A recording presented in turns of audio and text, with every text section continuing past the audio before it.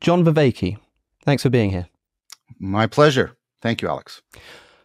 I want to ask you a question that I don't think anybody has ever asked you before. Okay. And that is what is the meaning crisis and why are we living through it? the irony is, is is is welcomed. Thank you. Um, so, of course, th- there's a long answer to that, um, and so any answer I give is going to be simplified, hopefully not oversimplified. Um, the main there's two sort of main dimensions. One is what is it like? What am I referring to with this? And then the other is how is it showing up? Um, the first one goes something along the following lines. Um, the very processes that make us intelligently adaptive make us sort of perennially prone to self deceptive, self destructive uh, behavior. And across cultures and historical epochs, people have found uh, what I call ecologies of practices. I, I, don't mean that just a set of practices. I mean practices that have like a dynamic relationship to them. Like a prototypical example is the Eightfold Path of Buddhism, right? In order to try to ameliorate uh, the self deception without, of course, hamstringing the ad- adaptivity. And getting that, which takes nuance and complexity and you know adaptive fit to a variety of environments, and trying to enhance the way our cognition is fitted to the world uh, to afford flourishing. That combination of things has typically been called wisdom, or you know, the cognate terms. And one way of understanding the meaning crisis is that those ecologies of practices have to be situated in um, some kind of homing environment, you know, a temple or a dojo. Um, and that has to, that homing environment and its tradition typically have to be legitimated by a worldview. Um, now, I want to make something very clear, and I make it repeatedly clear. I'm not here advocating any kind of nostalgia. Uh, I've, I've, said put on uh, you can put on my tombstone neither nostalgia nor utopia. But what I'm trying to say is what has happened in the West is, uh, as Peter Berger puts it, we've lost that sacred canopy. Um, a lot of these institutions have come into question, and uh, the places where people go to cultivate that wisdom um, are largely becoming less and less viable. So the fastest growing demographic group are the nones, the N-O-N-E-S's. Um, and if you look at the demographics, uh, many of them are still, they will describe themselves as spiritual, but not religious. A very nebulous description, but it's pointing to something. Uh, they're seekers. Um, and so there's a hunger uh, for that across the culture. Um, I sometimes do this with my students, Alex. I'll ask them where to go for information. And like in a cyborg fashion, they hold up their smartphone that's just there. And I say, well, where do you go for knowledge? And they're, they're much more tentative. They've been sort of, you know, sensitized by postmodernism. They'll say science, history. Then I say, where do you go for wisdom? And then there's an anxious silence. Um, and so what the meaning crisis is, is that leads to a, a, a, proposition on my part, a proposal, which is wisdom is not optional, but it's also really not readily available in our culture. And that ill fittedness um, is causing a meaning crisis. You know, another way of thinking about it is, in that sense, um, a wisdom famine. Um, and how I think that's showing up, and this is work I've done with Christopher Mastropietro and Filip Miscevic and the book we published and other stuff, is, you know, in a set of sort of interrelated symptoms um, in the West. Uh, of course, you have um, a loneliness epidemic. The number of connections people have, the quality of the connections are going down. Uh, people feel more and more beset by bullshit. And I mean that in the technical sense that Frankfurt uses it. You have um, a lot of political ideologies that have a very distinct pseudo religious feeling to them and and participation, trying to fill that gap. Um, and on left and right, I'm not taking a particular uh, political stance here. Of course, you have mental health crises, uh, addiction crises. Many people are now coming around. You know, my good friend and colleague Marc Lewis said addiction is this much more profound relationship between an agent and its arena. Um, anyways, there's a whole host of things um, and it's plausible that what they share in common is this uh, this hunger, uh, sort of a, a scarcity uh, around this ability to appropriately connect and fit and get the sense of belonging. And so that work also overlaps with all the work that's being done in meaning in life and or the the work that's being done on the psychology of belonging. Basically, if you don't have a sense of belonging, you're really messed up on many dimensions. Um, and so um, that's as succinctly as I could do it. I hope that wasn't too long, but that's sort of what I'm trying to refer to and how I think it's showing up. It's fascinating, and there's a lot to unpack, including this relationship between wisdom and belonging. I mean, when I asked you about the meaning crisis, you say that it seems to be almost synonymous with the poverty of wisdom. But then at the same time, you're talking about the uh, effects of this meaning crisis, the sadness, the nihilism, mm-hmm. uh, as seemingly motivated by a lack of sense of belonging. Are these two therefore connected in some way, wisdom and belonging? Yes, I think so. Um, now that's also a long argument, um, and, that doesn't mean I don't. You know, if, if, you want to challenge me on anything, that's fine. But I, I can't. I'm just saying I'm gesturing towards arguments. Um, and this is an argument about that the the way in which we make sense of the environment. This is sort of um, coming out of what's called 4E cognitive science.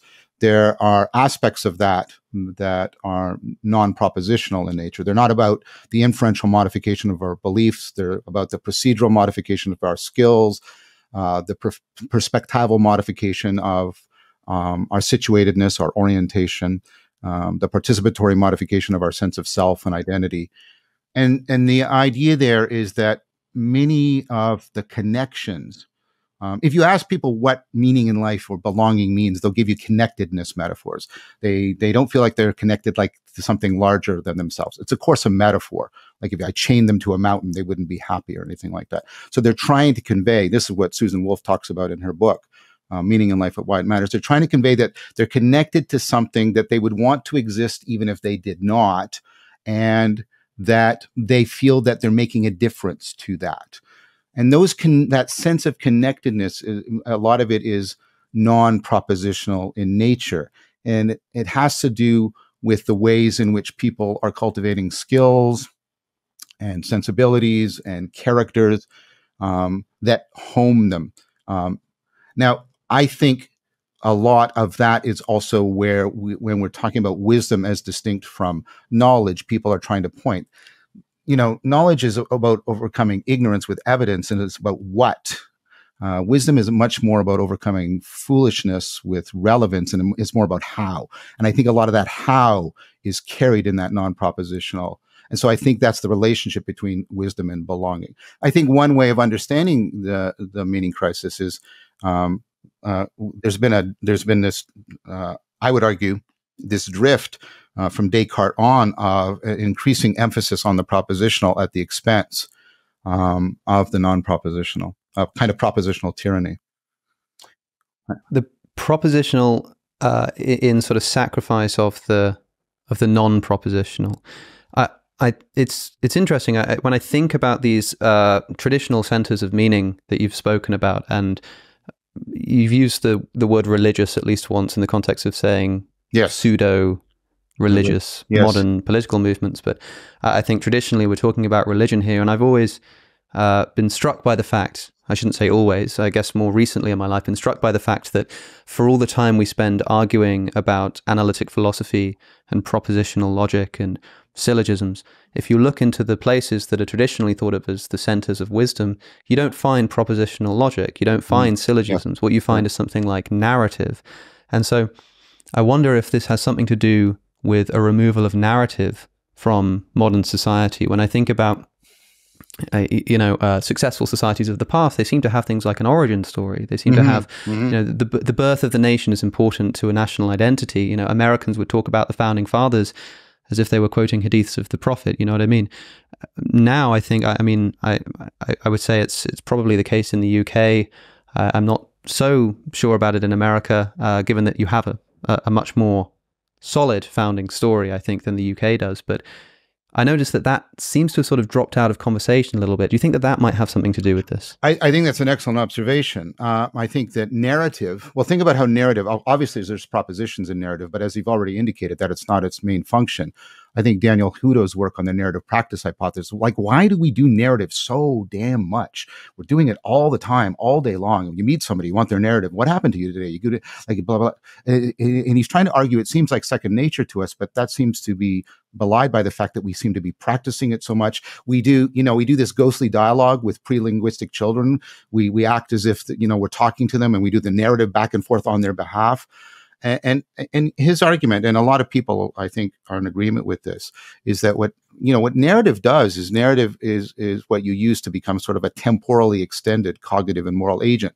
It gives you non-propositional kinds of identities, like you, the identity of the character before and after the story begins, right, are not the same, uh, you know, in a logical sense. There's a narrative continuity, there's development, and, and you need all of this. He argues in order to uh, pick up on everything that is needed to actually properly interpret the propositions. So if I say to you, like, um, no, so let, us do it this way. I'll put you in the viewer's view. You see somebody and they say something you know is not true, and you know they know it's not true. Well, did they lie?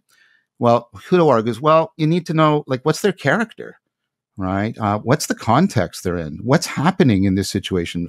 Are they in conflict? Like, what's you need all of that. And then he points out, well, that's what narrative is getting you to practice to do. It's getting you to practice all those skills, those skills, and that perspective taking. Narrative's all about perspective taking. It's all about identity transformation. And I think you're bang on. I'm, I'm, I'm arguing that narrative is really capturing, it's a machine for capturing the non propositional and using it to make us temporally extended cognitive and moral agents. And I think you're right. When we lose, when we lose narrative in that fashion, as you've said, um, I, I think we, we, we, we've, we've significantly hamstrung um, the way we cultivate uh, people's capacity to belong, to, to find that connectedness. Now, I would say there's also in the book that I wrote with, with Chris and Filip, we talked about three orders. We talked about a narrative order that has been lost. Uh, we talk about a, a normative order. The, the, ancient world, for example, as, uh, after the Axial Revolution, right? It has a two worlds mythology that gives you sort of a way of understanding transcendence and improvement. That's largely been destroyed, uh, uh, I think, by, by the scientific worldview. And then we have a nomological order. Now, of course, science has given us better grasp on the nomological aspects of the world, but science has not really fitted us well into that nomos. And so I think we've lost actually all three orders. I'll just give you one thing that's kind of interesting about this. Uh, you know, uh, one of the th- one of the things people say is like a symptom of what's happening right now is the is the virtual exodus. People preferring to live in the virtual world uh, rather than the real world. There's a couple good books around this, and it's become problematic. You know, it's it's problematic for a, a, a very significant subpopulation in Japan right now. But anyways, think about a video game and think about what it gives you, right? You get the rules, but the rules are they they're relevant to you. You fit them. You know how to fit into that nomological structure. There's, there's a narrative, and you know what your role is in that narrative. And of course, you know how to level up. it's clearly part of the game. And so you can see that these games are so attractive. I mean, there's other things they're doing with sensory motor you know gratification, but they're also so attractive uh, because they're supplying, uh, in, in, at least temporarily, a sense of belonging to these missing orders. Do you think that, therefore, uh, something like video game addiction, uh, which is something that you see and, and often gets associated with people who are a little bit sort of nihilistic and depressed, do you think that something like that is the result of uh, the meaning crisis or more like a cause of it? Well, I mean they, that uh, this kind of when, whenever you're involved in a process that's you know multi-leveled, recursive, and self-organization, self-organizing, it's hard to talk about a clear um, causal lines. I think there's good historical argument that many of the factors that historically drive the meaning crisis, you know, precede the advent of the virtual world especially you know, games. I think games exacerbate it. I think you know when the when the when the WHO sort of acknowledged this as a real thing. Um, what happened is in a couple of my courses, I was really lucky. Some of my students took this up as a topic for a theoretical research paper, and a bunch of them. One of them, who had in fact had been such an addict, um, and he talked about that. He talked about how it exacerbated thing and, and the basic idea is you get that world in which you belong and you can get into the flow state. I mean that in the technical sense that Csikszentmihalyi talks about. And the problem is uh, the, it, these worlds are typically, not always, but they're typically not set up to transfer well to the real world. and so you get flow within and you get right a disconnection without. And so what starts to happen is you start to return more and more the game. And then you start by contrast to see the world as less and less affording of flow. And then you get caught in this very sort of vicious place and you get sort of locked into the game. Every, your world sort of reciprocally narrows and your sense of agency reciprocally narrows down to that and then the world becomes a, very dark place as that process unfolds so I think it definitely exacerbates uh, um, people's experience of the possibility of a dark, absurd, inhospitable world. How did we get here? How did we get to a point of lack of narrative, lack of sources of wisdom, lack of motivation to seek out wisdom? Uh, when, uh, I mean, it seems like you're describing this as something of a new phenomenon, at least in the course of human history. So, how did we get here? Well, I mean, I, I want to be careful about that. We, I think it has happened also in the past. I think during the Hellenistic period, uh, there was massive domicide. Uh, after the breakup of Alexander's empire, you get a lot of the things that had given people a stable sense of ethos were, were fractured. Like if you compare a- Aristotle to somebody after Alexander, you know, Aristotle's in Athens. He knows a lot of the people. He can participate in the government. He lives there. Everybody around him speaks the same language, same religion. And after Alexander, you know everything's really massively screwed up all those you know usual signposts are, are all now in question and the, and you see uh, you know the Hellenistic period has been described as an age of anxiety. You see that you see the change in philosophy. Philosophy takes on this whole therapeutic dimension you know, Epicurus, call no man a philosopher who has not alleviated the suffering of others. You see the syncretic religions trying to merge between the different cultures. You see mother goddesses, mother is home, like Isis rising to prominence. So I think you can make an argument that there have been other periods in history where there has been a significant meaning crisis. So I'm not claiming this is the only time.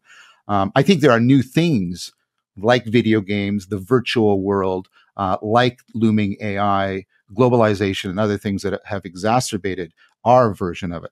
I think our version starts um, in sort of the late Middle Ages. I think there's a, a bunch of things um, that uh, led to it. Um, I think there's a fundamental change in the understanding of reason. And uh, there's even a change in how people are reading. At least there's been some good arguments and I think some good supporting evidence that reading largely goes from being oral and communicative, like communal, and being much more private and mental.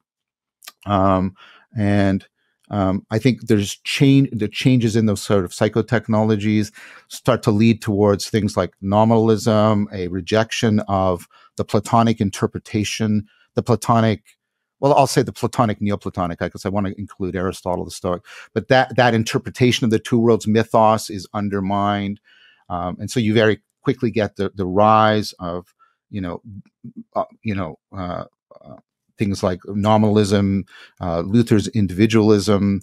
Um, you get Descartes rejecting the older understanding of reason as logos and basically trying to translate it primarily into logic um, and, it, and right and so there's a lot of things and again i'm not i'm i'm not proselytizing for nostalgia. I'm just trying to answer your question historically. So I, I think there's a lot of things that start to shift us primarily into the individual monological computational way of understanding who and what we are and off the communal, dialogical, participatory. And the world starts to flatten. You know, Scotus, of course, is, you know, starts to flatten the ontology. Um, and that very quickly uh, starts to get us into a place where we get this weird asymmetry. We get, and I'm grateful for it because I consider myself a scientist, we get a leap forward in our ability, right, to understand the, and explain the world. But we get, we get in this weird position you know, and this is this is understood, you know, right at right in the heart of the Enlightenment. Um, you know, Hobbes actually proposes that cognition is computation, right? Um, and, um, and you get the response to this that people are saying, yes, yes, but we get this explanation of everything except how we are capable of generating explanations. And Cartesian dualism just makes that project almost impossible. Um, and so we're sort of trapped and locked for a long time. And I think, you know, as the and I think Descartes, I think Descartes wins against um, you know you know the Thomists and the Neoplatonic magicians of the late Renaissance, uh, precisely because he he plugs into sort of the central thing that uh, the scientific revolution is giving, which is you know math can do this special thing.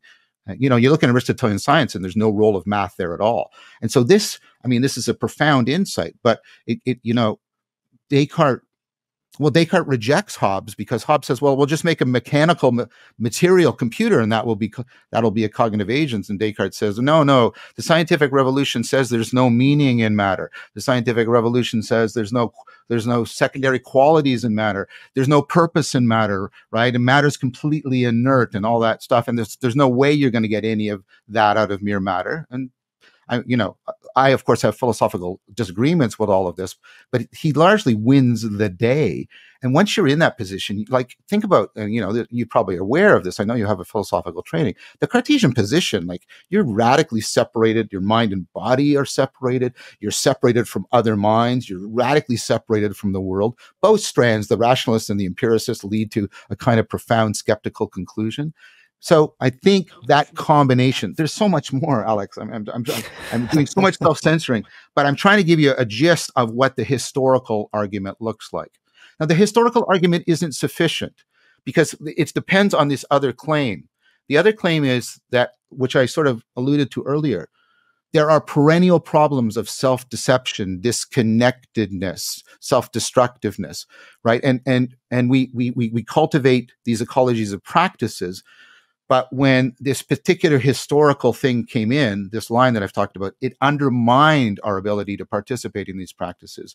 And so now the perennial problems bite us in a way. So there's a historical influence undermining our capacity to respond to perennial problems. That's how I would try and explain it. And then, as you said, it's been exacerbated. You know, the Americans have lost their civil religion myth of Americanism. You know, the Cold War was one, which was actually devastating for people's meaning in life projects. And, and, and there's the rise of the virtual world, globalization, um, etc., has exacerbated that. You sorry, a bit here to, I'm sorry, I, that was probably too much. No, that that's that's what we like on this podcast. Uh, that's that's that's why people tune in. I like to think we're not doing it for the for the short form clips, although we do make those too. Um, this may be a difficult episode to translate in in that in that respect, uh, but we'll see. Uh, you you've alluded a few times to uh, science, to the scientific method as being relevant here yes. to the development of this crisis of meaning.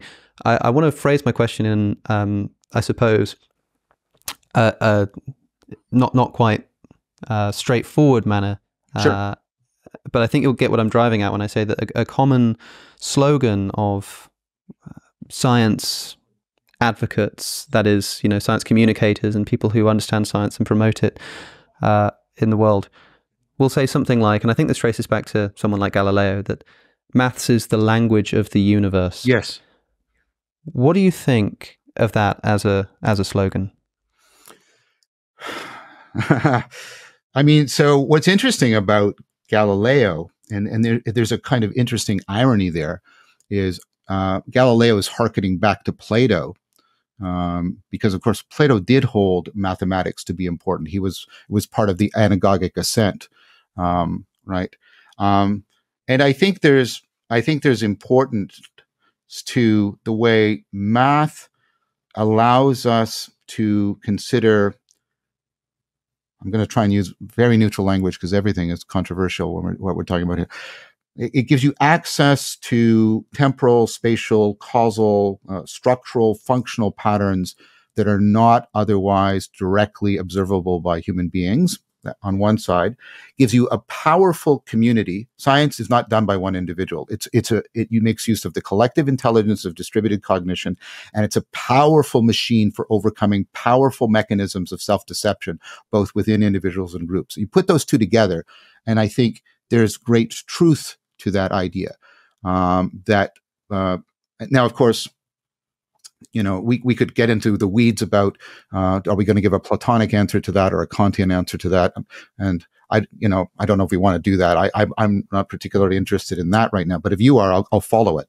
But I do think um, that math gets you to consider ways in which the universe unfolds. Again, I'm really struggling to use neutral language here, that do not necessarily readily map onto sort of Homo erectus understanding of daily events where things are bumping into each other and smashing into each other. And I think that is a significant gain. I think this is where Plato is better than uh, Aristotle. Aristotle ultimately, now Aristotle's a genius, and but there's a grounding in sort of common sense intelligibility of everyday experience, and Plato is willing to call that into question.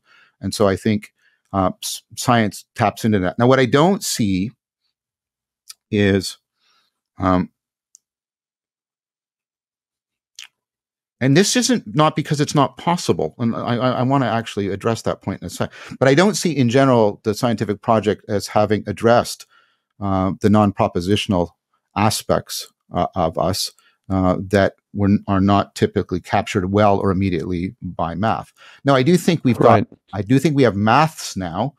Um, uh, you know, I think uh, dynamic systems theory, uh, complexity, and I think the way that is now intermeshing uh, with a, a, more adaptive, biologically based understandings of cognition, 4E cog sci, give us the possibility of saying, well, why do human beings care about this weird meaning? Even the word meaning is a metaphor, right? It's they're, they're not they're not primarily or, or exclusively talking about semantic meaning. They're talking again about this kind of connectedness, this fittedness. They they solve problems well, uh, etc. They're talking about their agency, their adaptive agency. And I think we're now at a place where we can talk seriously about it. In fact, that's my one of my proposals. My proposal is with the advent of 4E cog sci conjoined with dynamical systems theory, complexity theory, we can now start to explain in, in you know in without having to be caught in the homuncular circle of just explaining it with other mental terms. We can explain the mind, um, cognition, intelligence, meaning um, in a way that makes sense of it and explains and gives a good account of why we seek it, why it's adaptive, and therefore how we could potentially screw it up or improve it. And so I think there's a, an, an, opportunity for us here now. Um, so if you if you allow me to broaden science out to the special sciences and not just fundamental physics, I think there's an, an answer available within science, thus understood. Again, cognitive. I want to emphasize cognitive science also right gives a pro- an appropriate and I think an important role to philosophy because I think your naturalism is not just what you can derive from your fundamental sciences or your special sciences, but also what is fundamentally presupposed by them, uh, like the, that the world is intelligible, that you're a meaning making agent, etc. Yeah, I mean, it seems to me that the methods of science and the language of mathematics uh, simply can't bear on the the non-propositional aspects of human experience. They can't bear on things like uh, meaning. They can't bear famously on things like ethics. And I, I wonder if you think, I mean, there's a common story that's told, particularly I find by religious apologists, that um, the reason everybody is depressed and nihilistic is because they've adopted what they uh, and they use this term in a sort of derogatory manner. They say scientism mm-hmm. has taken over the minds of the modern human being, in that we think that everything can be explained in terms of science. We think that everything can be mathematized.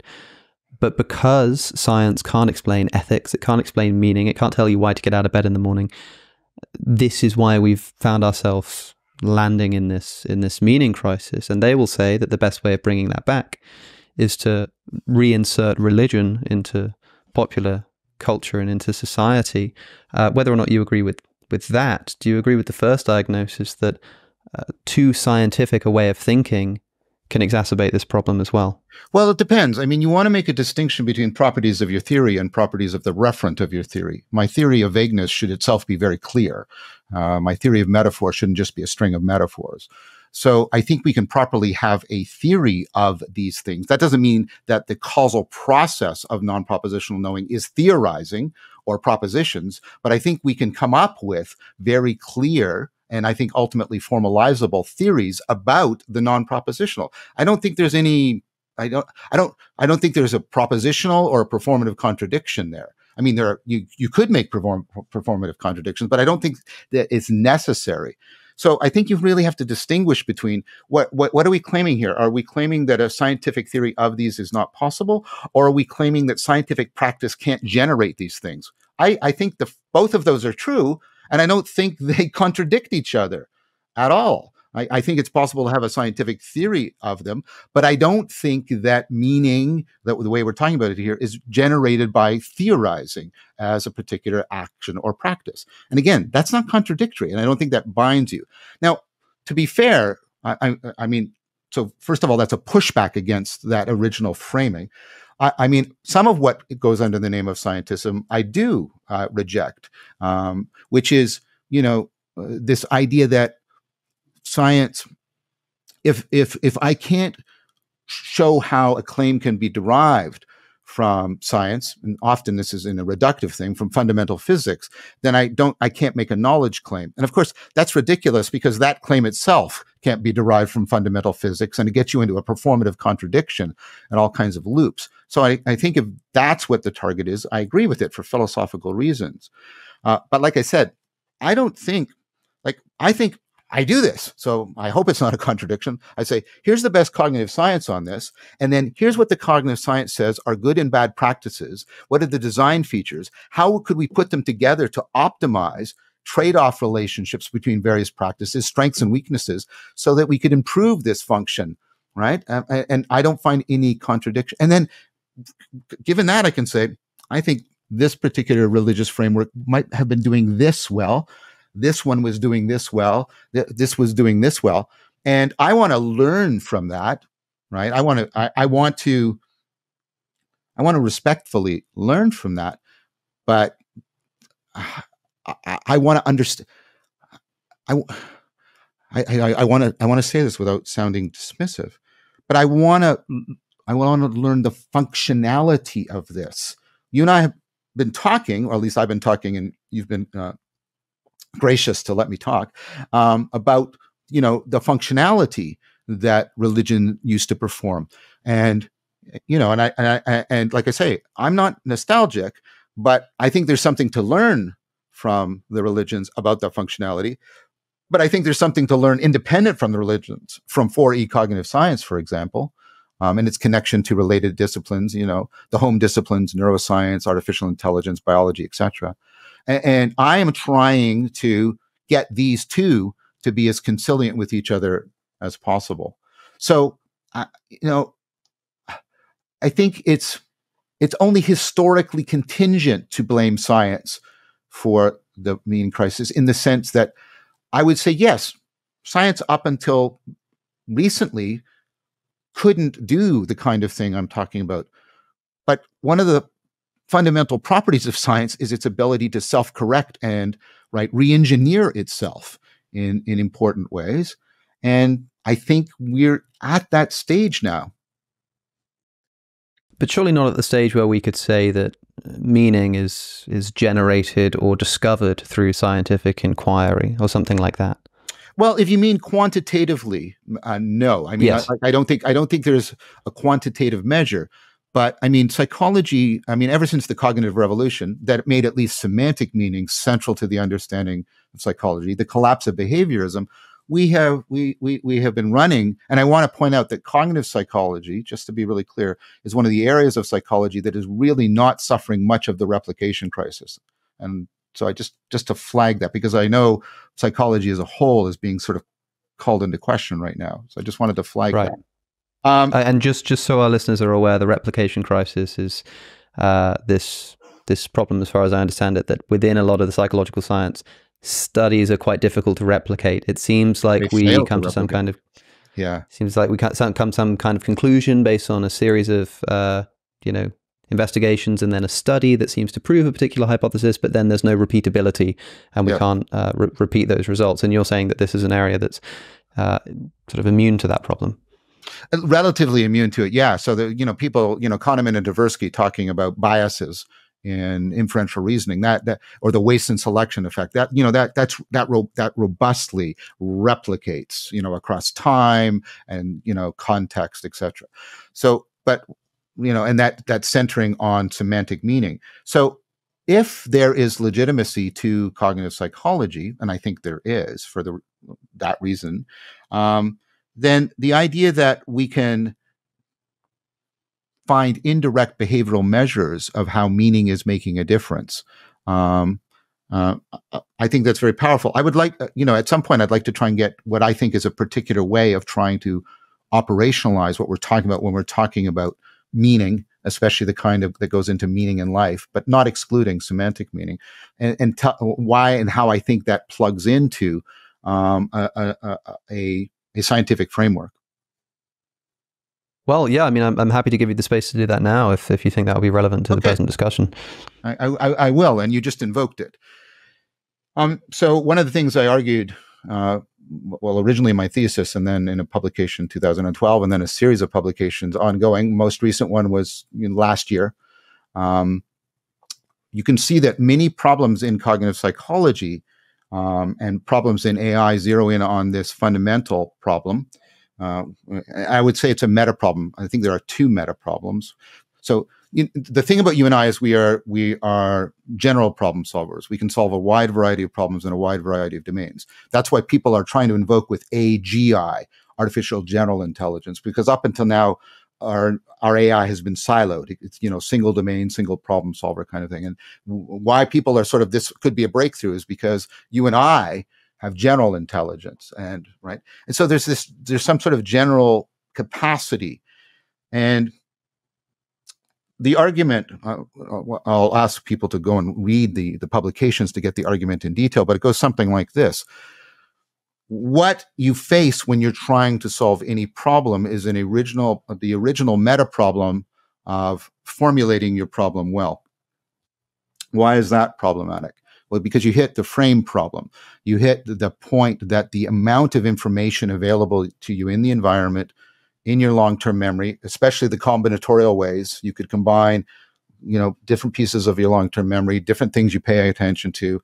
You know, the the number of uh, options available to you is combinatorially explosive, computationally intractable, and so and what you see is that uh, cognition is excellent at somehow doing this. And this is the thing that has fascinated me and obsessed me for most of my scientific career. You somehow ignore most of the information in your environment and zero in yes. on relevant information that allows you to solve your problems. Now, of course, you can't do that infallibly. That's why the mechanisms that make you adaptive make you prone to self deception, because sometimes the information you ignore turns out to be the relevant information for solving it. And, and sometimes we realize that we have that aha moment. We realize, oh, I was looking at this completely the wrong way. I was ignoring this, etc. And so the idea that I, I'm proposing is, well, once once you see that, you can then sort of start to wrestle with, well what is relevance and like, could we have a theory of relevance? I would argue we can't have a theory of relevance uh, it doesn't it doesn't have you know what philosophers of science call systematic import, right? If I'm going to do science, I need to be able to generalize, right? Uh, so I need I, I need I need to find homogeneous properties that generalize well, that generalize stably. Well, what's relevant? Well, right now this is. Will it be relevant five seconds from now? No, it's not. Other than them being relevant, what do the relevant things have in common? Mm, nothing, right? Uh, other than they're relevant to you, etc. And so that that that that's problematic. Um, now, what I've proposed, and more and more people are thinking this might be the right track. I'm trying to say this as cautiously as possible, but um, is that the brain is doing at many levels and using many different particular kinds of heuristic and cost functions is doing something very analogous to evolution. So evolution, you need some, a reproductive cycle. Well, you have that. That's your sensory motor loop. This is constantly looping like this. And in evolution, you have top down selective constraints, right?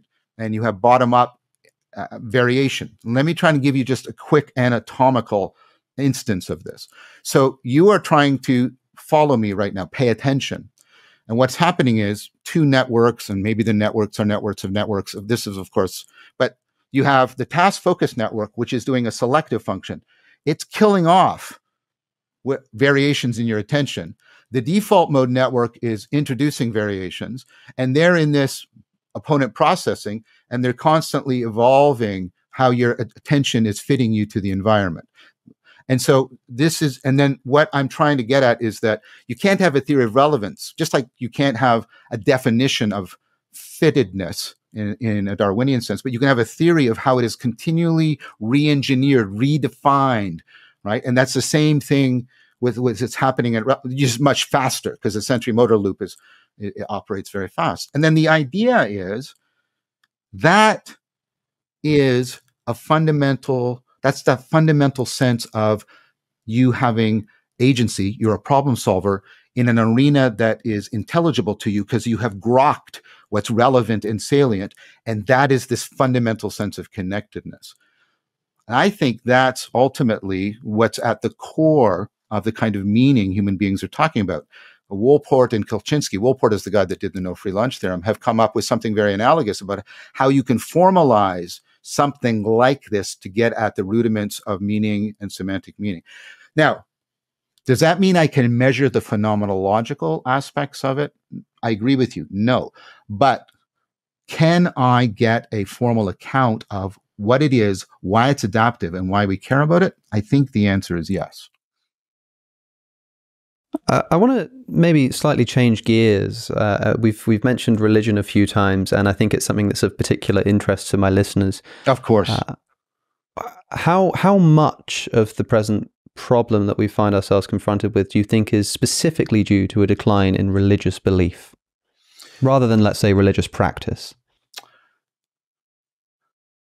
Well, I mean, I, I don't want to do the typical philosopher's thing of asking you what you mean, but there's, I mean, one of the famous tropes, of course, in the social sciences is that religion doesn't have a stable referent.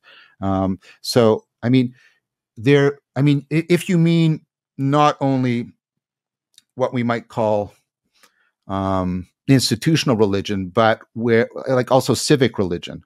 Um, like I said, I think Americanism really held that space, uh, especially within the context, the narrative context of the Cold War for Americans uh, quite a bit. Um, but well, I, I, think I think people might want to say that there's. Uh, I've spoken to a few people on this podcast who have uh, suggested or endorsed the idea that because of the decline in traditional religious belief, because human beings are, are religious creatures, they can't help uh, but but sort of continually demonstrate the aptness in the observation that it's not uh, whether you worship, but what you worship. Right? That's a sort of a, a common piece of wisdom uh, okay. whether whether you agree with it or not. And and I, I, I wonder if somebody could say, well, yeah, I mean, we have that kind of pseudo religious political thinking today. I mean, you you already referenced it yourself that people are thinking in religious terms in many ways about their modern politics. That is to say that yep. if there is something unique about now, it can't be the, the decline of religious thinking or, or religious ways of behaving, of getting together and, and sh- uh, sharing some kind of common goal or common understanding. It must have something to do with the belief content, with the fact that these kinds of pseudo religious political movements, the reason we call them pseudo religious is because they lack uh, important content, such as perhaps uh, you know the the existence of a deity or uh, something like that. Okay, so I, I, I want to give that's a good that's a good counterpoint. I want to respond to it, uh, and I'll, I'll, I'll uh, and it goes to why I was uh, expressing qualms. I think there's a, a, a, you know there are religions, and then there are things that hang on the border between religion and not religion, like Stoicism and Neoplatonism. Um, in which worship is perhaps not the best way of understanding what those things are organized around. I, I do Tai Chi Chuan and Qigong. You know, Taoism doesn't seem to have uh, at least many many branches of it, and the the, the ones that go back to Zhuangzi and Lao Tse don't have they they don't talk about worship at all. Um, and so I'm a little bit hesitant about uh, about making that you know the central thing. And, and, and towards that, I think the content that's lacking um, in the pseudo religious ideologies isn't propositional content by and large. I think, you know, Marxism and Nazism both gave people fantastic. And I don't mean in the moral sense. I mean in the effective sense of, of narrative. Uh, right? Thank you for clarifying for the sake yes. of uh, monetization of this podcast. yeah, very much. Um, but I think it goes to what we were talking about. I think that a lot of these pseudo religious ideologies are very thin soup when it comes to practices, both individual and collective, for the cultivation of wisdom for yes okay so after i believe in the coming of the revolution and i've read marx and i can memorize it and I, and I do my protesting but what do i do to cultivate skills and virtue access alternative states of mind and consciousness contemplate diff- and aspire to being a, having a different kind of identity? What like w- and so i think actually the thin soup in the pseudo religious things is not so much a, a lack of propositional content. Um, and, and I'll, I'll, give you just one piece of you know preliminary empirical evidence to back that up. Um, but I think it's it's the practice. So my um, uh, one of my RIAs, I'm a supervisor in his PhD. Uh, he did some work, um, some empirical work, and there are various measures and they're problematic so you have to use multiple measures but there's there's now existing measures you know validated measures for sort of assessing how wise people are. And then you can you can sort of you can sort of do triangulate with how the people that a community deems wise. And you can get sort of you know a, a, a fairly good plausible sorting. And then what you can ask is you can ask well what difference does belonging to religious community make to that and you can compare that to people who don't belong to one now you get two findings. The first finding will make religious people happy. The second people will make will piss them off. The first finding is the people in the religious framework do better than the secular. The second finding is there's no significant difference between these frameworks. And so the propositional can't that is be, between different religious frameworks. Yes, exactly. So that I mean, and I think there's other converging evidence, but that's you know sort of clear that what's doing the heavy lifting in the wisdom cultivation is not the propositional content the the fact that you that that religion does it best, but it's not clear, or, or, or you say it's clear that there's not a difference between the different kinds of religious beliefs and religious practices as to which one does it best. Yeah. Uh, I wanted to push back on this idea that uh, it, it's not got anything to do with the the propositional belief, uh, and it's it, it, that is the content of the belief, but rather the something like the existence of the belief. Or I, am not quite sure how you'd how you'd phrase it, but I think there is something that's offered by most religious thought in one way or another. Sure. That isn't offered by secular thinking, by a scientific worldview, I should say, an exclusively materialistic worldview, or indeed the sort of pseudo religious political movements. And that's the existence of an afterlife.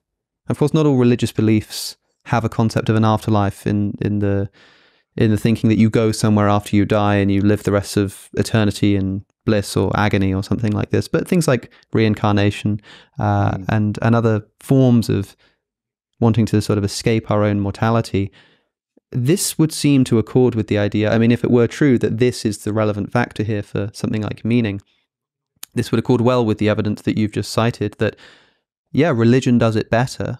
It doesn't matter which religion, but it's better than, you know, secular thinking. Maybe that's because what the thing that these have in common, even though they might have different kinds of gods and different kinds of ethical codes and the kind of things that we usually think engender community spirit, the thing that really makes a mockery of the concept of meaning is the fact that it all comes to an end. So I wonder if you think that there's any legitimacy in the view that death makes a mockery of meaning and that if that's the case, this might be an explainer as to why religion has traditionally been such a successful source of wisdom. Okay, uh, let's let's uh, let, let's take a look at that. Um, the first thing is um, I'm not sure that that's a universal. Um, you cited Buddhism, and I've been practicing within Buddhism.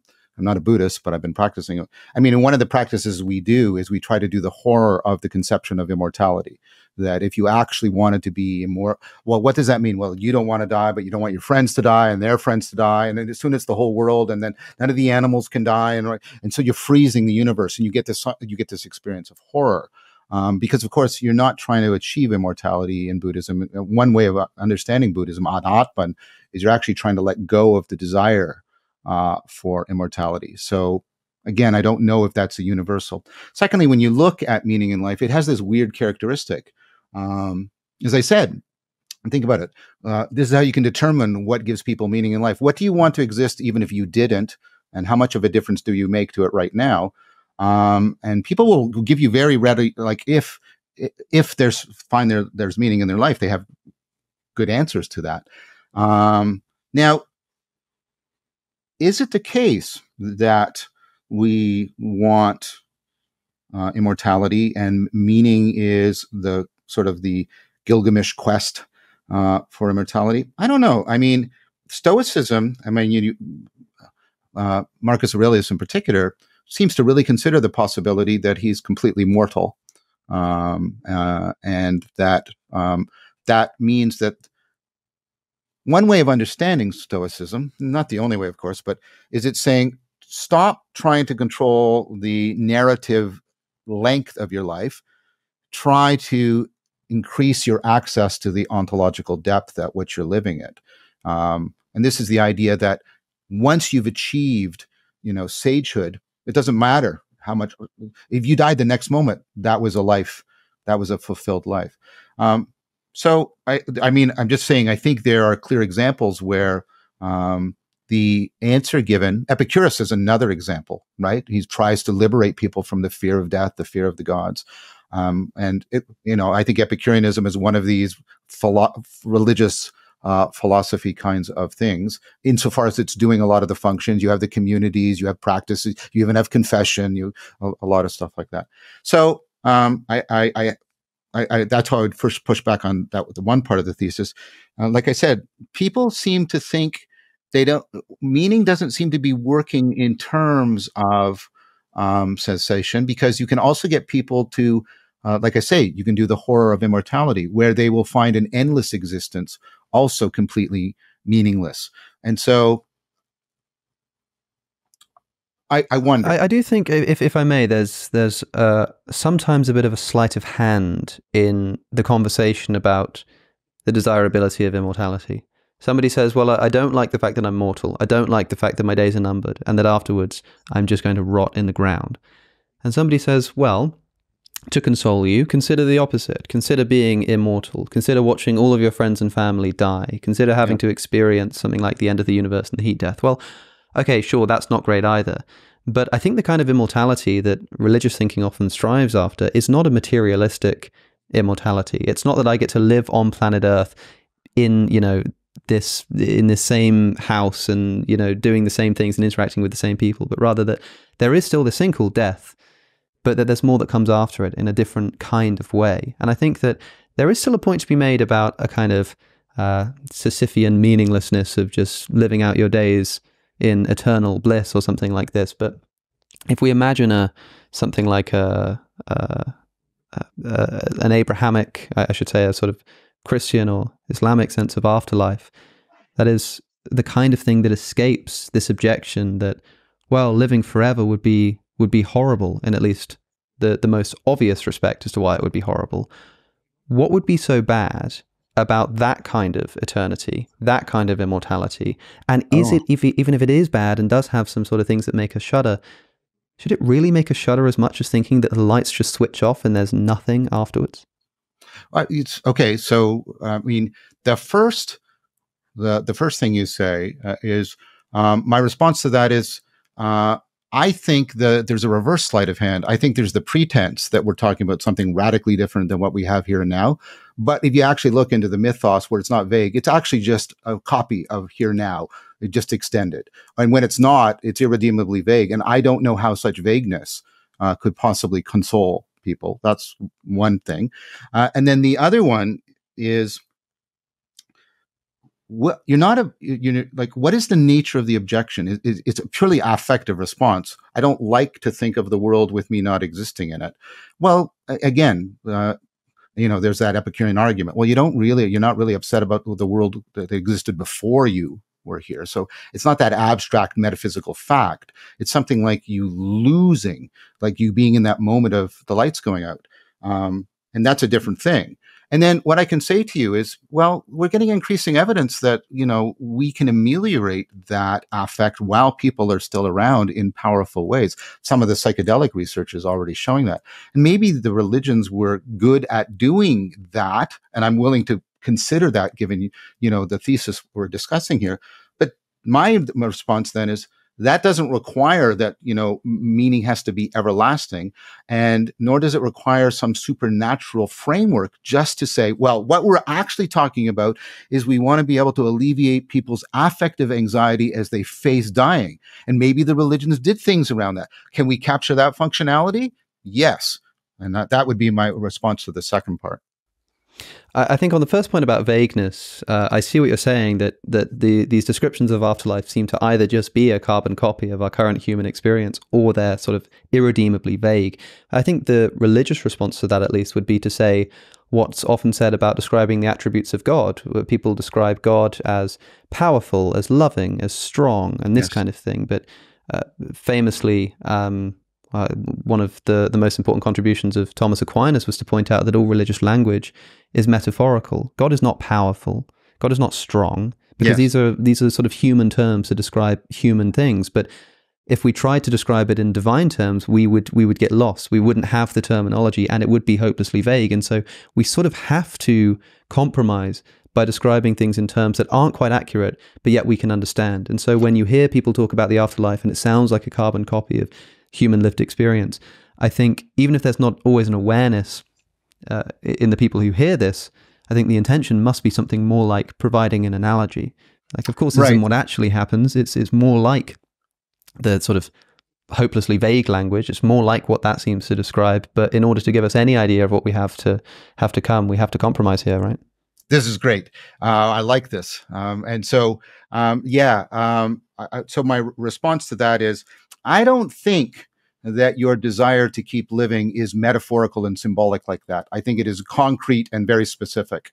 And I think, I don't think you want to metaphorically, symbolically have immortality. I think you concretely, specifically do not want to die as the particular person you are. Um, and so again, I, by the way, uh, you know, I think there's, there's value in what Aquinas says when you're trying to talk about things like the ground of being or the grounds of intelligibility and you're pumping up against the limits of thought. But I don't think we're talking about the limits of thought here. With I think I think our death, uh, you know, is a phenomenological mystery to us. It's imagine. It's an imagine. I can't. I can't imagine what it's like to be dead. I th- but that doesn't license any kind of conclusion. So I don't think it's like the kind of boundaries of conceptuality and intelligibility that I think can license why we need to refer to symbolic or metaphorical language. I, but I don't think it's well, that to, kind to be, of issue to yeah. be clear, uh, I, I, do think I, I, agree with you that yes, the kind of immortality that a person might seek is, is going to be concrete. You, you don't you don't want metaphorical eternality because you could achieve that by like writing a poem in some respects, or at least you yeah, could extend your life metaphorically by writing a poem. But what I'm saying is that the the desire is concrete for something beyond death, but the thing that we want that's beyond death. I don't think is going to be like this kind of life because of the problems we've already mentioned. That if it were, you know, I'd have to watch everyone I know and love die in front of me or something like this. And and not to mention the, the sort of metaphysical problem of living in the heat death of the universe. I don't even know what it would mean for for me to continue existing in that kind of space, right? And so clearly if we're talking about immortality, we're talking about something different. The desire is concrete. You want something real. You want something that's actually going sure. to happen. The metaphorical uh, uh, contribution is in our description of the concrete thing that we want to achieve because I couldn't hope to understand what the thing is that that would uh, that would allow a person to escape mortality in this way. And so the kind of language that I'm going to use to describe it has to essentially be poetic. I have to talk about you know, uh, maybe a land flowing of milk and honey, or I talk about, you know, it, eternal bliss, or I sort of imagine myself as, as, as nowhere and everywhere at the same time, and I sort of use words like this, recognizing that these are essentially metaphors. These, these aren't literal descriptions of what it's going to be like, but although my language is metaphorical, the thing that it's providing a metaphor for is a very real, concrete thing that I desire. Yeah, but, but uh, so you're de- you're desiring the concrete thing that you can't give me any specific concrete content to. Yes, and in why, exactly why the same way. And why is that not just as much of an unintelligible thing as non-existence like what like what is the gain uh, I, I don't I don't know if it's sort of more intelligible per se because we run into same, the same problems of trying to understand what it might be like to not exist. Again, we're we're immediately uh, not able to to describe this accurately because right. the moment you're thinking about you not existing, you're you're existing, you're, right? And so there, yeah, there are problems of intelligibility in both. But I think the desirability uh, there's there's at least plausibly a great asymmetry in the potential desirability. I mean, both of these are kind of these mystical realms that we can't really understand. Uh, and when I, I, shouldn't say mystical, I should say something like mystifying, because I don't want to give the impression that I'm talking about something non-real here. Uh, what I'm saying is that the language we, we use to capture these is always going to be insufficient, but we can get an idea of the kind of thing we're talking about. And I think that an eternal life of bliss in an afterlife, again, metaphorical language to describe a concrete thing, is better than the concrete thing of non-existence described in the metaphorical language of, you know, okay. the lights turning out or something like that. In, in exactly the same way that if somebody talks about God and they desire God and they believe in God, as Aquinas would have it, they are always talking in terms of analogy. They're never using words that are actually accurate, but that doesn't mean that God himself is an analogy or a metaphor. The language we I, use I, to describe I, his attributes are, but he's real. That.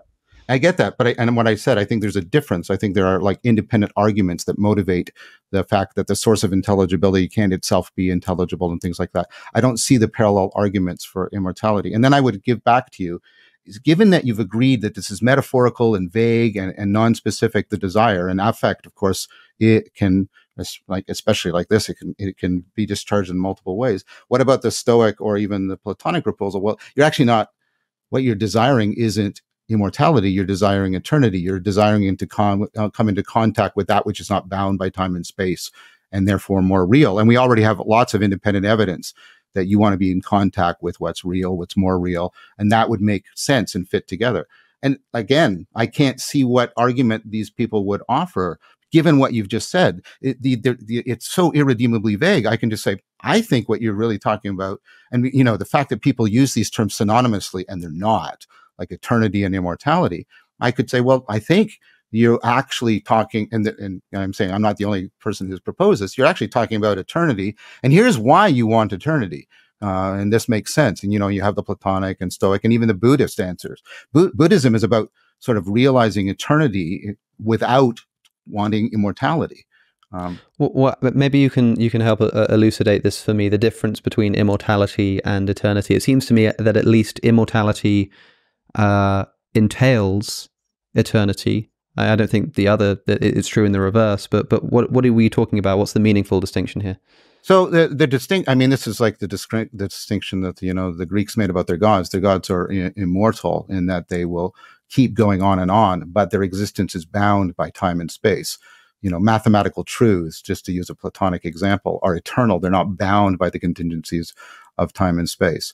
Um, and so coming into relationship with what is eternal. I understand why that matters because I think access to that app. I don't like the term abstract because it sounds like it's just a mental thing. I'm not talking just epistemologically, but access to that abstract domain is is powerfully important for many of our self-corrective individual and collective projects. I can understand why that is something that human beings hunger for. And you know, this is Spinoza's position too. We we we we're looking for a kind of eternity, although we're, we can't find it immortality. Um, so that's the distinction I'm invoking. Okay, so so talk to me about how uh, death of the kind where you know, as we've the, the language we've used so far, uh, lights out. You know, nothing, nothing more. Talk to me about how that doesn't just laugh in the face of a, a, conception of meaning. And and I think the the reason why people will intuitively understand what I mean there, but just to make it absolutely clear, you might want to say something like, well, you can have temporal meaning. It doesn't need to, you know, just because a story ends, it doesn't mean that the story isn't meaningful. Of course, when a story ends, there's still a world outside of the story in which the meaning can be ascertained and and in, and in which you can sort of uh, interact with that meaning and experience that meaning. If the if the story ends, and so does the person who read it, and so does everybody else who's ever going to read it, then I I, I think um, was it Pascal who talked about how everything is obliterated in the presence of the infinite. It doesn't matter if your life is one year or five years. It doesn't matter if it's got a little bit of meaning or a lot of meaning. If if you have this infinite eternity of non-existence awaiting you, everything just collapses in the face of it and becomes, uh, if not negligibly small, then then impossibly small. It sort of reduces to a, a singularity of, of, of, of nothingness.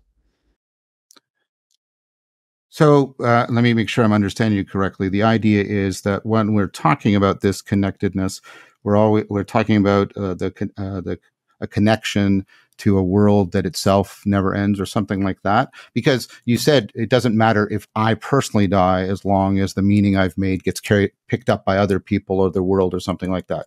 Is that well? I, I think it. Pers- I personally think that it does, but but I understand that some people might like to say, "Well, I know that I'm going to die, but I can do things that are going to outlive me, and that's where I find my meaning." But of course, that yeah. will come to an end as well. And I, I think that's the problem. Yeah, I mean, you, I, it, you, you won't need me to explain to you why it is that people will will consider the fact that they're going to die and that seemingly the universe is going to end and everyone they know is going to die, everyone that could exist is going to die, and that somehow undermines a sense of meaning. You, I mean, you'll, you'll, understand that that's a, a, common thing that people think. I'm yeah, just wondering if yeah. you can reflect on that for us. I do, and what I would say is, like again, um, I think trying to bind meaning in that way ultimately makes the connection purely instrumental in nature. And I would say to you, you know, what makes a moral act meaningful is that, you know, human beings are intrinsically valuable. Um, and there are things, there are states that are intrinsically valuable. Realizing enlightenment for the Buddhist is intrinsically valuable, doesn't need to persist for that intrinsic value to go on. In fact, to I mean, the problem with making an instrumental is it's doomed to fail because I keep deferring what is ultimately the final thing that retroactively confers all the meaning on everything. And then I ask you, well, why does let let's say it went the other way, right? It would right, uh, you, you know, and whether or not there's going to be heat death is now controversial, of course. Uh, you know, and the, uh, it's like, well, why does that convey meaning all the way back? You know, I have I won't ever experience that. That's a that that that's that that that will have no impact on me. And so I, I, I want to say that, you know, people want to be bound to things that they consider to have an intrinsic value, not an instrumental value. And if you ask me, well, why should we consider things to have intrinsic value? I, that's for me, that's just constitutive of being an agent. Um, if you if you're not capable of finding agency intrinsically valuable, then you're not a self-making self.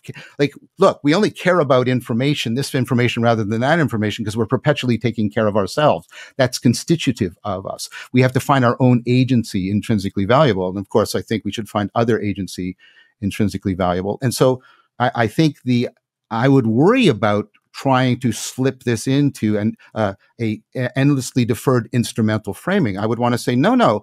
If I can get connected to the things that have an, uh, an intrinsic value, and there's something sort of eternal about that, because they're not, their value isn't contingently, temporally, spatially bound, right? Then that's what gives me that kind of meaning that I'm talking about. But I mean, you can you can imagine somebody just sort of rejecting the premise. I mean, I don't really want to get into the, the issue of objectivity and value because I think that would take up too much space. And although it's it's relevant, it would be a bit of a detour. Uh, but but but in other words, uh, yeah, so somebody can say, well, of of course, I run into problems uh, if I if I just uh, accept this worldview that that there is no value outside of the instrumental. But if that's just what they believe, that's just if that's just what they think is the case. I mean, I, I I'm trying to prevent against like begging the question in favor of meaning. So I say, well, doesn't this thing preclude meaning? And it, it, sounds like you're saying, well, if you think in this way, then you essentially preclude the ability for meaning. That, that's the very thing that we're discussing here. I mean, I don't understand how it can be that somebody can. I, I mean, you, you spoke a moment ago about how the, the heat death isn't relevant to you. So why would the, the badness of this heat death why would that affect your sense of meaning? Because you're not going to experience it. Well, yeah, it's symmetrical. The argument in, is in, right. If, if, if, I can have no impact on it, why should have it? Why should it have an impact on me? It's a symmetrical argument. Yeah. Well, I, I think the problem is that if if somebody, I mean, it can it can affect you now in the sense that you know it's going to happen. So, for example, if you decided that you wanted to uh, write a poem or write a magnum opus, in order to um, uh, the the terror management theorists would have it that you're essentially doing this in order to escape your death, but maybe you're mm-hmm. doing it for this sense of meaning. And part of the reason for that is, and I think there's some truth in this, in that like if you were sort of casually working on a really important book that you wanted to get out at some point, and then you found out you were going to die next week, it would probably drastically increase your motivation to get it out, and that might have something to do with the fact that knowledge of impending death motivates our, our desire to create meaningful things, implying maybe that the, the meaning that we're that we're trying to gain here is got something to do with escaping death. Now, my knowledge of this heat death of the universe, it doesn't affect me in the sense I'm never going to experience the heat death. But I know that this poem that I write or this book that I produce, sure, it's going to outlive me, but it's still going to die in this heat death. And so, yeah, I'm not going to directly experience it, but it still bears on the relevance of the meaning of what I do while I'm alive today, if you see what I mean. So, so w- why does that discount the intervening millions or perhaps billions of years in which people found this meaningful? It transformed their lives, and human beings, uh, their lives are valuable and important. And, and, and, like we only get into this bind because we actually are bound by this fundamental caring about our own agency. We wouldn't care about our right? That's the point. I think we're, we're verging on a performative contradiction. Well you know uh, i don't i don't find agency intrinsically uh, valuable. Yes you do or you wouldn't be asking this question. And, and so if i've got millions and why why does that get erased by the fact that you know at at some point it goes it, it happened. It happened. It really did happen. It's true that it occurred I mean, can I just find it sort of instrumentally valuable? I mean, I, I think that uh, you, you, can ask meaningful questions about, well, if you don't value certain things, then why do you behave in particular ways? That's, a, that's been a really important question in, in the recent resurgence of the interest of meaning in, in these kinds of discussions as people say, well, what is it that, you know, what, what is it you really believe? If you, th- if you actually think there's no meaning, if you don't think there's any value, then why are you even asking this question? Your, your actions seem to betray that you don't believe what you maybe even think you believe, certainly what you say you believe. But I, I can just say that, like, look, I'm a I'm a biological creature with particular drives and values that I find within myself. I don't think there's any kind of objectivity to these things. I don't think it's it's objectively true that human beings are valuable. I think that I find them valuable essentially because of some you know, biological drives. That's not something that I exactly want to get into. But uh, to answer your question directly, when you say, you know, why would this discount the the millions of years of this work transforming people's lives? Well, because transforming them for what? To what end? I mean, what, what does it matter if a million people live good lives That's, or bad lives? But you're just adverting if, it, to, if it's all going to come to nothing. But you're just adverting again to instrumentalism, which is, uh, and then again, why should I advert to that? Uh, why shouldn't I just say, uh, well, you have to take some things as having like even the instrumentalist has to have the view that there's some sort of you know objective value to the truth or how, why would that be something that controls their behavior modifies their actions make licenses them to make these claims uh, so again uh, I, I, think we're yeah we might be getting down to a fundamental ontological uh, difference here. Uh, I think that and, might be the case, and that that's not something that we'll probably be able to make much much progress on. But I mean, would you say I've in previous discussions about uh, meaning and purpose, I've I've sometimes defined meaning, sort of thumbnail sketch of a definition here, as something like a non-instrumental reason to act. Do you think that that's a, a fair assessment of what meaning is? Well, let me make sure because what like as the empirical research goes on this, um, we have sort of talked about four dimensions, and now I will give something to your argument. I've been sort of you know you know standing behind my uh, my walls, uh, but um, and one of them is purpose. That's one of the things that contributes to meaning in life. But what the evidence shows is that's not the overwhelming one. Sort of the intelligibility of things is what contributes to meaning in life. So is your world absurd to you or not? Another one is sort of significance, depth of realness. You don't want what's you're finding meaningful to be a fantasy or a fraud or, or something like that. But the one that seems to be the most important is mattering, which is just this sense of connectedness uh, to something that you think is real, independent of you. It, it's not just subjectively there for you, like the, the way your preference for vanilla ice cream is or something like that. And that you can make some sort of difference to it. And so if that's what if you're pointing to those non-teleological dimensions of meaning in life with your definition then i would say yes. If that's what you're capturing with it yeah i agree. Hmm. uh, that is the kind of thing that seems to potentially escape this let's call it the death objection because uh, if there is such thing as a as a non-instrumental reason to act then given that it's non-instrumental I, I don't want to confuse like non-instrumental with objective here by the way. I mean like we, we can sort of have some kind of uh, basic subjective assumption, and we can have other things that instrumentally serve that basic assumption. But the fact that that basic assumption is the non-instrumental basis doesn't make it objective. But mm-hmm. I think it would maybe in this conception help us to help us to understand why it might be that if we have a sense of meaning, it isn't affected by the fact that you know it, it's all gonna it's all gonna come to nothing. But I, I wonder what you would say to people who just don't think that there is that sense of meaning. And so it's not so much that you know they have the sense of meaning and they're worried that death sort of challenges it, but maybe because of the fact that they know that they're going to die uh, and they know that everything's going to come to an end, they are unable to recognize any sense mm. of non-instrumental meaning in their life. Where, in, I guess, in your view, are they going wrong in that uh, in that enterprise? Well, I mean, that I, I want to be a little bit um, complex in the answer. I mean, where are they going wrong might mean that there's something doing wrong or they're failing. I mean, there might be that they've, you know, that they've participated in a particular subcultural worldview that hamstring. There's all kinds of things that could be happening. Um, uh, you know, we, we, we could talk about just, you know, the basic impact of poverty on people to find meaning in life. And so I, I don't want to get into, well, that you know, people's lives are meaningless just because you know they they've done something. Uh, yeah, that's so that's an important clarification, actually. Yeah, quite yeah, right. Yeah. Uh, so, okay. but but you understand uh, the thrust of the question. You know, what what what's gone wrong? Let's say, yeah, uh, yeah, for, for such people.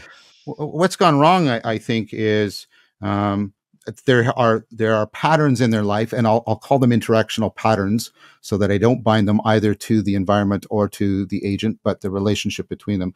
There are interactional patterns that are undermining uh, these kinds of factors that contribute to meaning in life.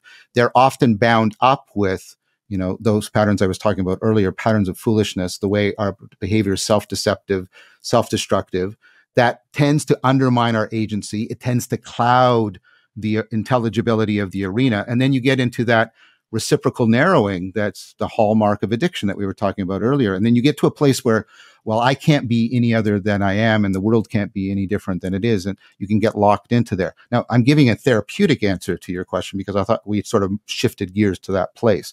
And so there are definite strategies uh, by which you can ameliorate this. So some of the excitement around the psychedelic uh, revolution is you can get people who are, you know, treatment and pharmacological resistant. You know, they're depressed and they're just, and then you give them this psychedelic experience, and especially if it tends towards the mystical dimension of these experiences, they can just be blown out of that sense, and they come out of it, and and they don't say, well, maybe that was. They, they're like, oh my gosh, I'm glad like w- people who have been in both they reliably prefer uh, the, the, you know the, the second to the first and, and so uh, again part of what i think we can do with the science and that and I, I want to say this respectfully, we could improve upon what the religions have done is let's get very clear about what are the things that undermine this connectedness, this meaning in life. What are the patterns? What are the processes of intervention that can ameliorate them, can afford enhancing it? So not, we don't just, like, we don't want to be Freud. We don't want to just return people to the normal level of unhappiness. Can we, can we also take them beyond that to a, a positive sense of flourishing? And it's not just me. A lot of people think that that's an empirically and theoretically tractable problem that we're making progress on. Do you think that the influence of psychedelics in overcoming these kinds of uh, problems is how can I phrase this? Is uh, I don't want to use the word instrumental, but that might be that might be kind of relevant here. What yeah. I mean to say is that you know, let's say that you're you're depressed and you're resistant to treatment, and then you take some psychedelics, and things seem to to get better for you. Do you think that's got something to do with the actual experience of the mm. the the psychedelic phenomenon and and and sort of uh, wisdom obtained through such experiences? Or do you think there's something more analogical going on in that somebody might be depressed because they think to themselves, well, I, I've found myself in a situation that I can't see an escape of. I don't see how my life is possibly going to change. And when you take psychedelics, every single assumption about the world around you can begin to break down. You know, the, the very existence of the self can famously disappear. The the way that that matter uh, mm-hmm. exists and interacts with other matter. That and if and and somebody could come out of that thinking, well, look, if I was so catastrophically wrong about the immovability of you know physical matter or or the sort of uh, the the the impenetrably utilitarian boringness of like a, a, a plain white wall or something. If I can stare at a white wall that's got absolutely nothing on it and it and it feel like I've just watched the greatest movie that I've ever experienced times 10 then maybe when I reconsider my position of thinking, well, I'm in this horrible state and nothing's ever going to get better, Yeah, maybe I'm wrong about that too. Or do you think it is something that they see, as it were, in that yeah. light show on the on the white wall that that that provides the wisdom that helps them escape depression or something like it? Yeah, so I'll talk to you about like experiment we ran in my lab where we did a lot of we did sort of a, a large scale. Now it's a correlational study, uh, but uh, between sort of mystical experience and meaning in life, and it's not the phenomenological content or the propositional content. It's something more like the functionality of insight that is uh, linked to the greater um, meaning in life. And then uh, you've got uh, you've got work, and it's sort of related to the work of Robin Carhart-Harris and some of the work I do uh, on the nature of insight, which is like let's just give so Stephen and Dixon, you give people a particular insight problem, like a force tracing problem or something, and you get to their they're impassing and, they can't solve the problem. And then what you can do is you can throw some static into the picture, or you can shake the picture, and they'll often have the insight, right? Now there's there's no content in that. So what what's plausibly happening? Well, take a look at what you have to do in machine learning. So you have you face the bias variance problem in machine learning, overfitting, underfitting, right? And so what happens is you you know regularly you'll hit overfitting to the data, the sample in ways that don't you, are picking up on parameters and patterns in the sample that don't generalize generalize to the population. And so what you do is you do dropout, you turn off half the network or you throw noise in, right? And then what that does is it basically breaks the overfitting to the data and allows the learning system to now explore more of the state space.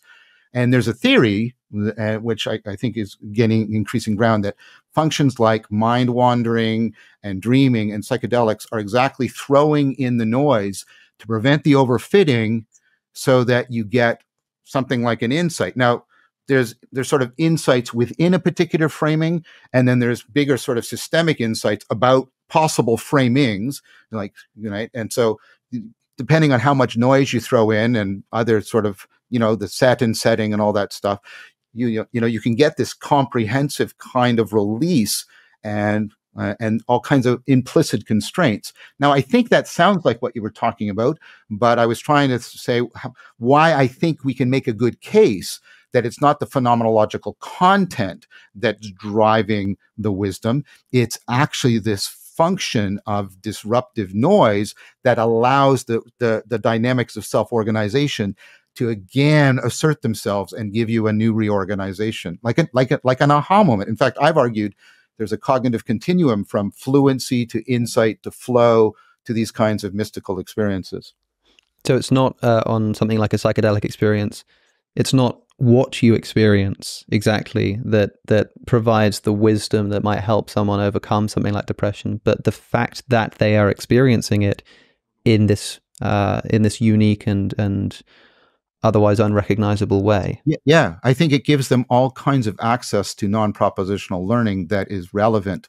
Uh, was relevantly, it's it, it's not so much content is that the functionality now gives them access in the state space of possible places their cognition can go and that's that's valuable and important and notice how that overlaps with what we are talking about earlier it's not the particular propositional content of the religious traditions but more things like how they're bringing about these transformative experiences in people yeah we're getting to the point that it's more about ways of thinking rather than the content of beliefs that are that are relevant here Yes. Um, which is an interesting takeaway and perhaps the, the most important one from our conversation. I did, I did have one more question for you, or one more line of sure. inquiry sure. Uh, which is that we've spoken a lot about death, and uh, I get a disproportionate number of emails, I would say, to other YouTubers uh, of people worried about their own mortality. Uh, yes. given everything that we've spoken about, I wonder if you have any advice or reflections upon,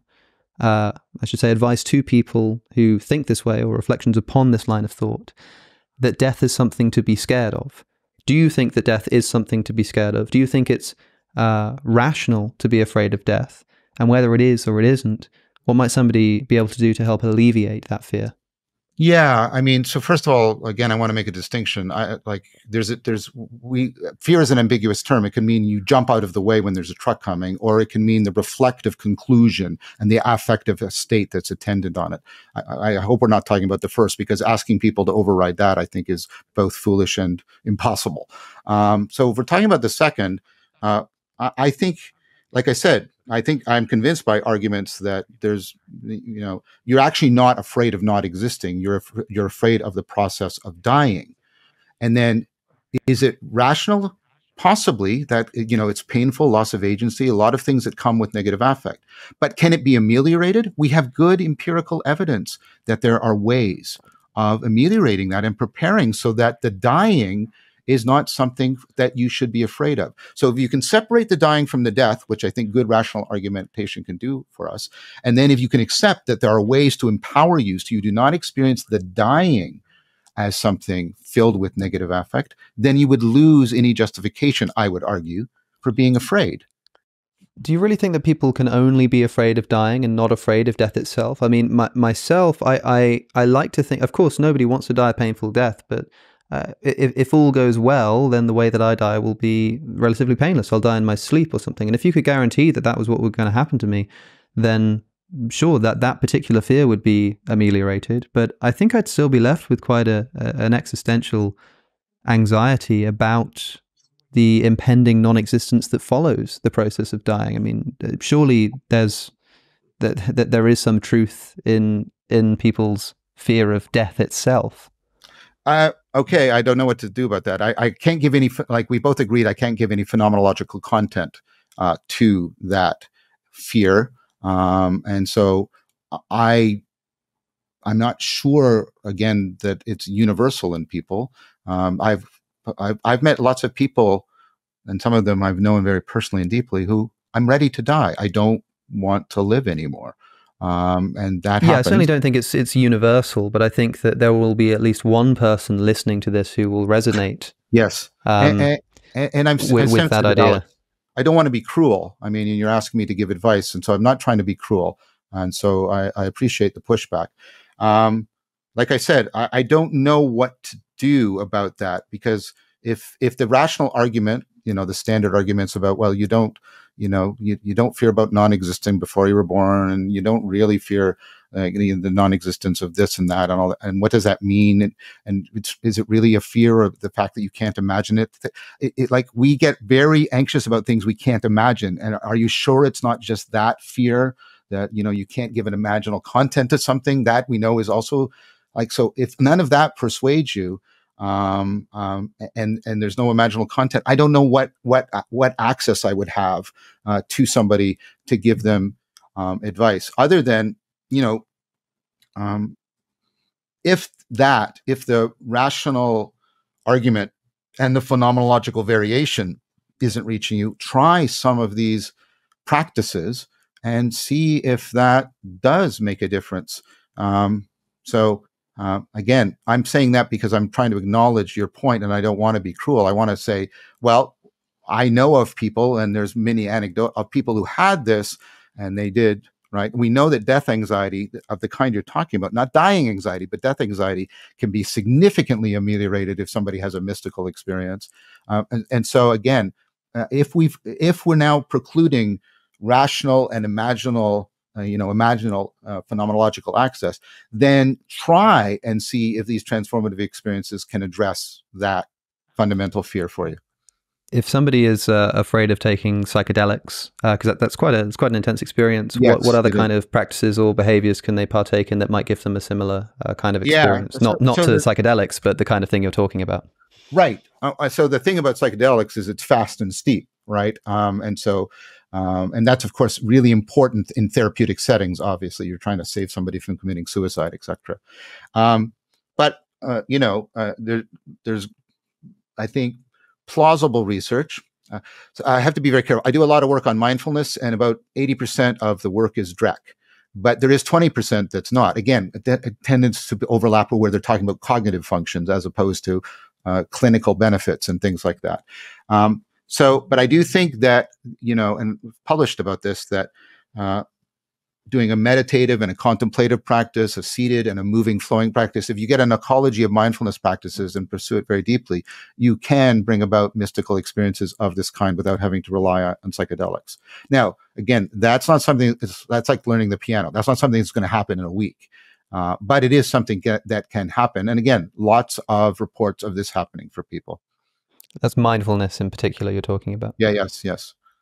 But an ecology. Well, the problem the problem with mindfulness is that in the West, it has been understood as seated meditative practice alone. The contemplative practices have been left out, the moving practices have been left out, the ethical practices in which you practice transferring the mindfulness to complex, ill defined, messy situations, all of that has been left out.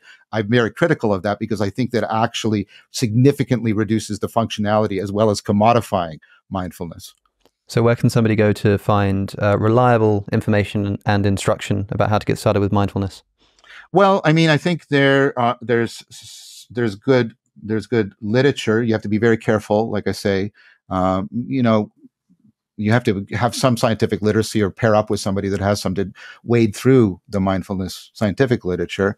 Um, if this isn't self promotional, because I'm not going to benefit from it, I during COVID, in order to help people, I ran a daily uh, meditation, contemplation, cultivation of wisdom course, and a sangha formed around it. Um, and that's available. We're retooling it right now, so it might not be directly available on my web on my YouTube channel, but it will be there very shortly, and and you can take that up. We are also the Vervaeke. I I, I, don't want to get it. I, I have an arm's length relationship to a nonprofit called the Vervaeke Foundation, so that the influence and the money doesn't flow directly to me. But um, and so the Vervaeke Foundation has created a new website called Awaken to Meaning, where we give you access to these kinds of courses, um, workshops. You can uh, find basic practices. Uh, you can find more advanced. You can find other people. Uh, we've put together a bank of vetted. Uh, you know, clinical psychologists, psychotherapists. If you hit trauma on, on this way, we're trying to do something um, as virtuously as we can to address that request. Well, we'll make sure that that's linked in the description or the show notes if you're listening, as indeed should everything that we have mentioned that has a link uh, that can be that can be accessed. We'll put that down in the description. Uh, John Vervaeke, thanks so much for coming on the podcast. Thank you, Alex. It, it was a lot of fun. It was a lot of fun. Um, I, I, just want to say that this uh, I like the way this new podcast is sort of broadening the things you're bringing into consideration. I think that's excellent. Well, thanks. I'm I'm I'm trying my best. I, I, want to. I've got to sort of balance the issue of wanting to expand and talk about all kinds of different approaches and topics, whilst also not uh, scaring off the audience that I've built up so far. But I think that, I uh, that. someone like yourself is a is a is a perfect example of uh, a stepping stone in the right direction. So uh, I do appreciate you taking the time and for for coming. Well, well thank you. I, I, I do try. It's on my Twitter thing that I try to bridge between science and spirituality. So I, am hope I'm I'm uh, I'm I'm glad that you found Uh, what I do helpful towards that. So thank you very much. If you enjoyed that conversation, then thanks. I'm glad. You can watch more full episodes of the Within Reason podcast by clicking the link that just appeared on your screen. The podcast is also on platforms like Spotify and Apple Podcasts. Don't forget to subscribe. Thank you for watching, and I'll see you in the next one.